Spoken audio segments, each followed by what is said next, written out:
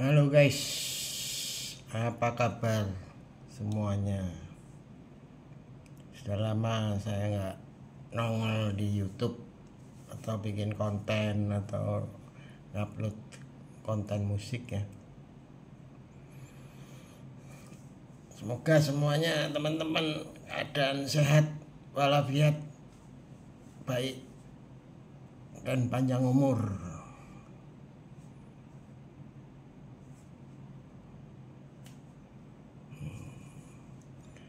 Saya mau menginformasikan bahwa saya akan merilis single terbaru dari Kobe Band Sidoarjo yang berjudul Sanji Pak atau bahasa Mandarinnya itu tulisannya 378 Pak ini dulu terkenal dikenal sebagai sebuah ungkapan atau ngata-ngatain orang lah sebagai pembohong, penipu.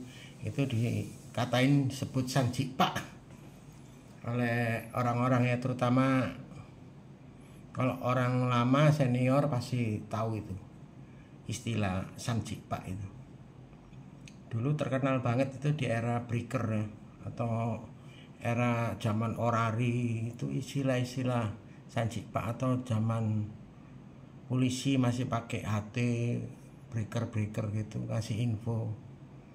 Kalau ada maling ada kasus-kasus penipuan gitu memakai istilah kode 378 break break 378 nah itu itu artinya sanji pak.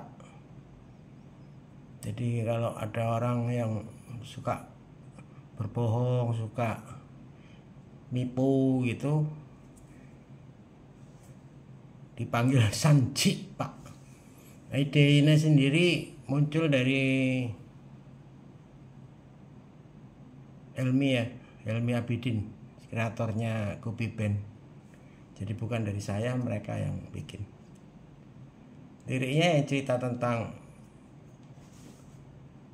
apa ya eh, penipuan di sekeliling kita banyak orang nipu ya.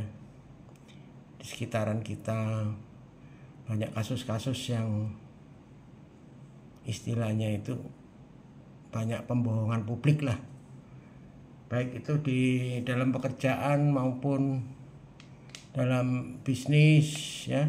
Terutama kayak online online gitu kan banyak juga yang orang tertipu ya. Order apa dikirim apa ya kan? Atau juga bisa pinjaman online. Terus dibohongin ya kan? Banyaklah kasus entah itu klaim apa dibohongin janjinya apa ini. Sampai hal-hal yang mungkin sampai ke tingkat tinggi ya sampai ke politikus lah istilahnya ya. Janji-janji bohong misalnya kampanyenya bohong nggak sesuai janji. Nah itu diistilahkan dengan sanji pak. Lagunya ini sendiri akan dirilis besok tanggal 2 Agustus 2 Agustus. Masih streaming ya audio aja. Video klipnya masih proses editing yang kemarin syuting di rooftop Siola Tunjungan Surabaya dan kota tua ya atau kota lama Surabaya di dekat seberangnya jembatan merah Plaza itu. Memang itu eh, apa ya jadi destinasi wisata baru di Surabaya yang di dekat daerah Pecinan Kembang Jepun situ. Bangunan-bangunan lama yang direnov diperbaiki yang sekarang banyak masyarakat santai di sana ya berkunjung di sana foto-fotoan. Terus banyak jual makanan di gang-gang situ ya seberangnya. Ada taman bermain ya untuk warga Surabaya yang istilahnya apa? Ya mau santai sama keluarga foto-fotoan ya di situ. Viewnya bagus. Dan mengingatkan daerah pecinan lama ya daerah masa zaman Belanda dulu lah. Bangunan-bangunan zaman Belanda dulu itu masih terpelihara dengan baik ya istilahnya kalau kalau di Surabaya itu udah masuk dalam kategori bangunan-bangunan kuno gitu ya yang dilestarikan oleh pemerintah daerah. Oke guys, kita tunggu aja single terbaru dari Kobe yang berjudul Sanjipa yang akan tayang di streaming baik itu di Spotify, di Apple Music, YouTube Music ya atau di YouTube untuk audio streamnya. Mungkin juga di langit musik dan lain-lain. Oke kita tunggu aja. Sambil menunggu video klipnya yang akan tayang mungkin seminggu lagi ya masih proses editing mudah-mudahan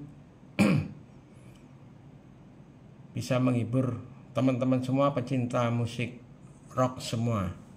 Oke, buat teman-teman juga lagu ini uh, bisa juga jadi background konten-konten ya. Mungkin anak-anak bikin konten di TikTok, di IG, Facebook ya. Itu bisa pakai background lagu Sanji Pak ini. Misalnya mengalami kasus-kasus pencurian atau dibohongi oleh orang gitu apa itu mungkin background lagu Sanji Pak ini tepatnya untuk teman-teman konten kreator juga masyarakat yang mungkin mengalami hal-hal yang tidak enak atau mengalami pembohongan atau ditipu gitu ya. Mungkin ini bisa jadi background teman-teman semua. Yang mungkin juga sudah akan tersedia cuplikan lagunya di TikTok dan IG ya. Oke, selamat mendengarkan atau menunggu rilisnya single Sanji Pak tanggal 2 Agustus. Sudah tersedia di seluruh platform digital. Oke guys, sekian info dari saya. Sampai jumpa lagi. Salam metal.